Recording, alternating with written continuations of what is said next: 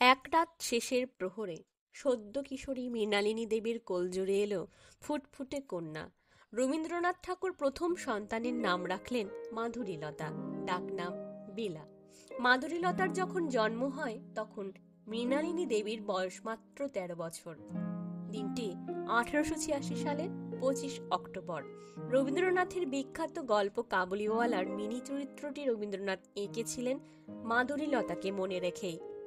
ছিন্ন পত্রাবলীর একটি চিঠিতে রবীন্দ্রনাথ লিখেছিলেন, বেলার মনটি ভারী দয়ালু।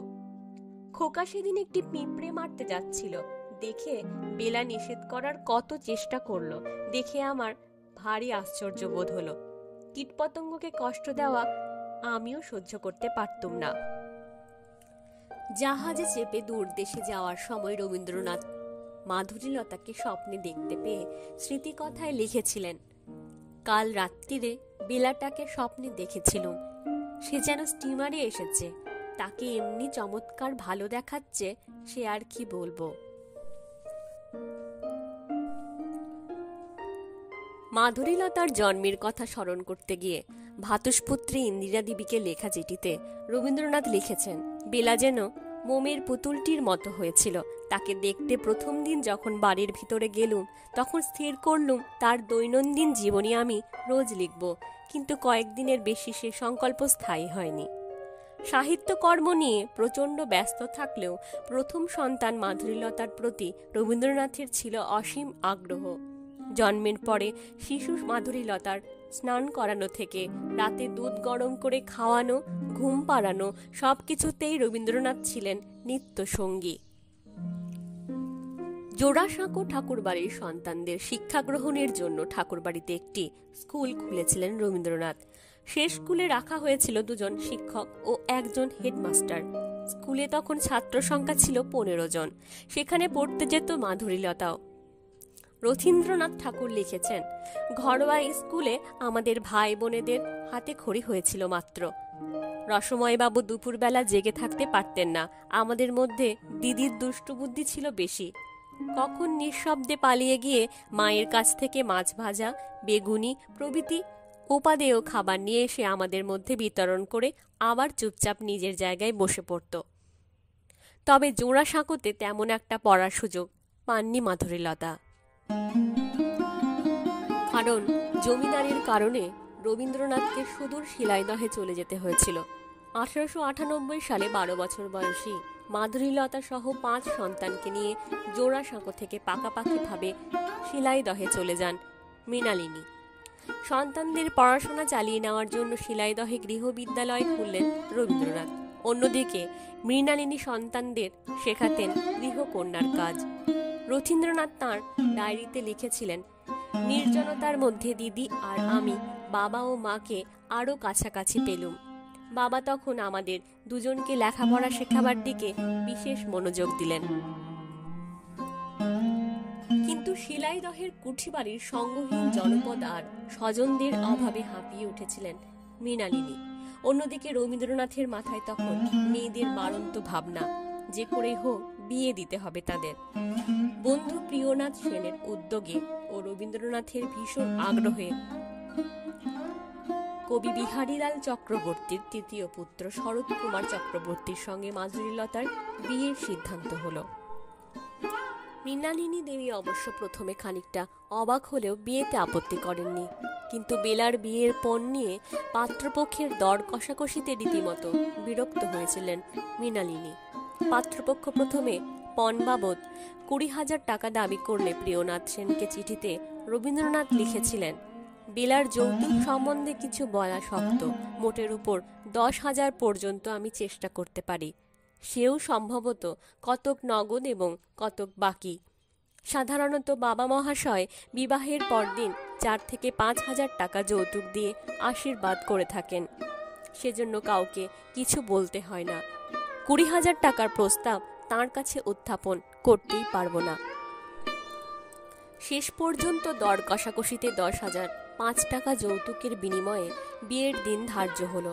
তবে তাতেও ছিল পাত্রপক্ষের শর্ত। বিয়ের অন্তত তিন দিন আগে সব টাকা পরিশোধ করতে হবে।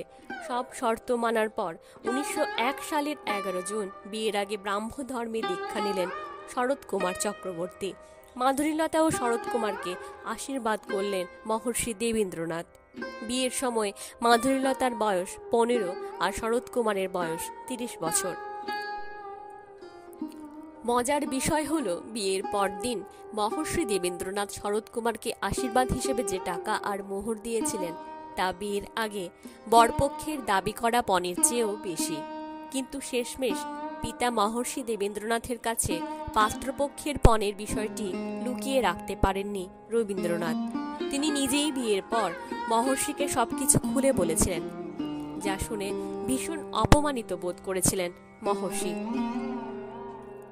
এত কিছুর পরও সেই বিয়েতে কম ঝক্কি যায়নি রবীন্দ্রনাথ ও মাধুরীলতার ওপর দিয়ে। একদিকে যেমন আর্থিক ক্ষতির শিকার হতে হয়েছিল, ঠিক অন্যদিকে আত্মীয়দের মাঝ থেকে নানান লাঞ্ছনা ও গঞ্জনা শুনতে হয়েছিল তাদের। কারণ, পারিবারিক বা সামাজিক কোনোভাবেই মাধুরীলতার উপযুক্ত ছিলেন না শরৎ কুমার। সমাজ বিরুদ্ধ বিয়ে বলেও আখ্যা দিয়েছেন কেউ কেউ। বিয়ের পর মুজফ্ফরপুর আদালতে আইনজীবী হিসেবে প্র্যাকটিস করতেন শরৎ কুমার। মাধুরীলতাকে নিয়ে সেখানে পৌঁছানোর পর রবীন্দ্রনাথ চিঠিতে মৃণালিনী দেবীকে লিখেছিলেন, বেলাবোধ হচ্ছে, এখন বেশ, স্থির হয়ে নিজের ঘর কন্যাটি জুড়ে নিয়ে বসেছে, যেখানে ওর বসবার ঘর স্থির হয়েছে, সে ওর পছন্দ হয়েছে। সন্ধ্যাবেলায় শরতে ওতে মিলে কুমার সম্ভব পড়া হবে, এরকম একটা কল্পনাও চলছে। মাধুরীলতাকে ভীষণ ভালোবাসতেন শরৎ কুমার। রবীন্দ্রনাথের ভাষ্যেও তারই প্রমাণ মেলে। রবীন্দ্রনাথ চিঠিতে আরও লিখেছেন যাই হোক শরতের সম্বন্ধে তুমি নিশ্চিত থেকো। এমন সম্পূর্ণ নির্ভরযোগ্য জামাই তুমি হাজার খুঁজলেও পেতে না। তাছাড়া সংসারে ও প্রতিপত্তি লাভ করবে সেও নিশ্চয়। এর পরের বছরই মাকে হারায় মাধুরীলতা। মুজাফফরপুর আদালতে তেমন পসার করতে না পারায় শরৎ কুমারকে কলকাতায় চলে আসতে হয়েছিল। রবীন্দ্রনাথ নিজ উদ্যোগে শরৎ কুমারকে ব্যারিস্টারি পড়তে পিলেতে পাঠালেন। সঙ্গে প্রতি মাসে দেড়শো টাকা খরচও দিতেন। শরৎ কুমার বিলেত যাওয়ার পর শান্তিনিকেতনে ছোটদের শ্রেণীতে মাস্টারি করেছিলেন মাধুরীলতা। এ সময়ই গল্প লেখার হাতে খড়ি হয় মাধুরীলতার।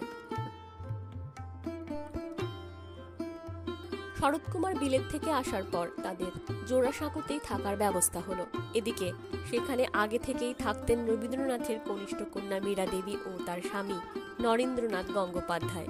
তাদের ব্যবহারে ভীষণ ক্ষুণ্ণ হলেন শরৎ মাধুরীলতা, উভয়ই। রীতিমতো ঝগড়াও হলো দুপক্ষের মধ্যে। রবীন্দ্রনাথ তখন দেশের বাইরে। দেশে ফিরে শুনেও তিনি এই বিষয়ে মাথা না ঘামিয়ে শান্তিনিকেতনে চলে যান। জোড়াসাঁকোতে চার বছর ছিলেন শরৎ কুমার ও মাধুরীলতা। এক পর্যায়ে দুই বোনের মধ্যে মনোমালিন্য তীব্র আকার ধারণ করলে মাধুরীলতাকে নিয়ে জোড়াসাঁকোর বাড়ি ছাড়েন শরৎ কুমার। প্রথমে ভাড়া বাড়িতে এবং পরে শ্রীরামপুরের পৈতৃক বাড়িতে উঠলেন শরৎ কুমার। ততদিনে কলকাতায় শরৎ কুমারের আইন ব্যবসাও দারুণ জমে উঠেছিল। দুই বোনের বিষয়টি নিয়ে রবীন্দ্রনাথের উপর প্রচণ্ড অভিমান ছিল মাধুরীলতার। মাধুরীলতা মনে করতেন, দুই বোনের বিরোধে রবীন্দ্রনাথ কনিষ্ঠ কন্যা মীরাদেবীর পক্ষ অবলম্বন করেন। একই সঙ্গে শরৎ কুমারের সঙ্গেও রবীন্দ্রনাথের সম্পর্কের চরম অবনতি হয়। চিঠি দিয়ে লোক পাঠিয়েও সেই সম্পর্ক আর জোড়া লাগেনি। রবীন্দ্রনাথ বিদেশে সফরের সময়ও মাধুরীলতা এবং শরৎকে বহুবার চিঠি পাঠিয়েছিলেন, কিন্তু কোনো চিঠির জবাব পাননি তিনি। লন্ডন থেকে জামাতার কাছে রবীন্দ্রনাথ লিখেছিলেন, কিছুদিন থেকে অনুভব করতে পারছি যে তোমরা কোনো কারণে আমার উপর রাগ করেছ এবং এই ব্যাপারে মনের মধ্যে খুব কষ্টও বোধ করছি। এর ভিতরকার কারণটা কি তা আমি ভেবে স্থির করতে পারিনি, কেননা আমি ইচ্ছে করে তোমাদের প্রতি অন্যায় ব্যবহার করিনি। যদি তোমরা মনে করো তোমাদের প্রতি আমার আন্তরিক স্নেহের অভাব আছে, তাহলে তোমরা ভুল বুঝেছ। এর বেশি আমি আর কিছু বলতে পারি না। কেবল তাই নয়, উনিশশো সালে নোবেল পুরস্কার পাওয়ার পর রবীন্দ্রনাথের সঙ্গে দেখা করতে সব পরিচিত জন ছাড়া অজস্র অপরিচিত জন অভিনন্দিত করতে শান্তিনিকেতনে গিয়েছিলেন যাননি কেবল মাধুরীলতা ও শরৎ কুমার। উনিশশো সতেরো সালে তিরিশ বছর বয়সে মাধুরীলতার ক্ষয় রোগ ধরা পড়ে। রবীন্দ্রনাথ নিয়মিতই মেয়েকে দেখতে যেতেন, এমনকি চিকিৎসার সব খরচ বহন করেছিলেন তিনি। কিন্তু সব চেষ্টা ব্যর্থ করে উনিশশো সালের সতেরো মে চিরবিদায় নেন মাধুরীলতা।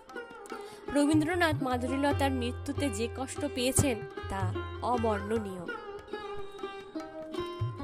মাধুরীলতার রোগসজ্জা এবং মৃত্যু রবীন্দ্রনাথকে অনেকখানি ভেঙে দিয়েছিল। মাধুরীলতার মৃত্যুর পর প্রশান্তচন্দ্র মহালান মহালানবিশকে লেখা চিঠিতে রবীন্দ্রনাথ বলেছিলেন, ওর ক্ষমতা ছিল, কিন্তু লিখত না। অকাল প্রয়াত কন্যা মাধুরীলতা স্মরণে শান্তিনিকেতনে রবীন্দ্রনাথ মাধুরীলতা বৃত্তি চালু করেছিলেন। রবীন্দ্রনাথের পলাতকা কাব্যগ্রন্থের বহু কবিতা রবীন্দ্রনাথ মাধুরীলতাকে উৎসর্গ করে লিখেছিলেন। এমনকি মাধুরীলতা যখন অসুস্থ অবস্থায় বিছানায় শয্যাশায়ী, তখনও শয্যার একপাশে বসে কবিতা লিখেছেন রবীন্দ্রনাথ। তেমনি একটি বিখ্যাত কবিতা যারা আমার সাঁঝ সকালের গানের দ্বীপে জ্বালিয়ে দিলে আলো, আপন হিয়ার পরশ দিয়ে এই জীবনের সকল সাদা কালো। যাদের আলোক ছায়ার লীলা, মনের মানুষ বাইরে বেড়ায় যারা, তাদের প্রাণের ঝর্ণা স্রোতে আমার পরাণ হয়ে হাজার ধারা। রবীন্দ্রনাথের ওপর অভিমান করলেও স্বামী শরৎ কুমারের সঙ্গে সতেরো বছরের সংসার জীবনে কখনোই মনোমালিন্য হয়নি মাধুরীলতার। নিঃসন্তান হলেও দাম্পত্য জীবনে মাধুরীলতা ছিলেন ভীষণ সুখী। উনিশশো আঠেরো সালে বেলা যখন মারা যান তখন শরতের বয়স আটচল্লিশ বছর। সেই সময় স্ত্রী বিয়োগের পর স্বামীর আবার বিয়ে না করা ছিল ভীষণ বিস্ময়ের ব্যাপার। কিন্তু বাকি জীবনে আর বিয়ে করেননি শরৎ। এই ধরনের ভিডিও পছন্দ করলে চ্যানেলটি অবশ্যই সাবস্ক্রাইব করুন। সঙ্গে আপনার মূল্যবান মতামত জানাতে ভুলবেন না। এই ভিডিওটি ভালো লাগলে লাইক ও শেয়ার করতে ভুলবেন না। নমস্কার।